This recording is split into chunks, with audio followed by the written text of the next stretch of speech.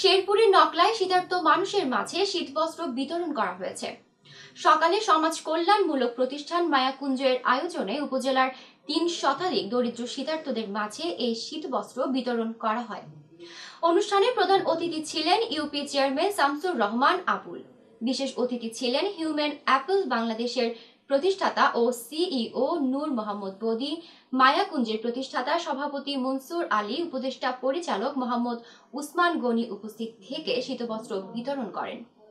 এ সময় এলাকার গণ্যমান্য ব্যক্তিবর্গ, স্বেচ্ছাসেবী ও মায়াকুঞ্জ মাদ্রাসার এতিম শিক্ষার্থীবৃন্দ উপস্থিত ছিলেন। চট্টগ্রামের প্রাণকেন্দ্র মুরাদপুরে পঁচিশ কাঠা জমির উপর নির্মিত হচ্ছে আন্তর্জাতিক মানের সর্ববৃহৎ বাণিজ্যিক ও আবাসিক ভবন।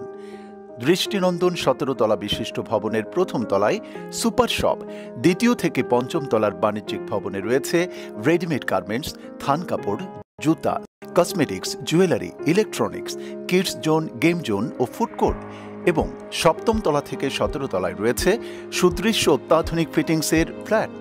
বিনিয়োগের সময় এখনই সাব কবলায় দোকান, শোরুম ও ফ্ল্যাট বুকিং চলছে।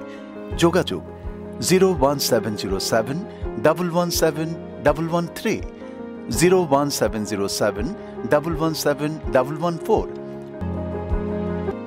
A project of Sidra Saif Developer and Construction Company Limited.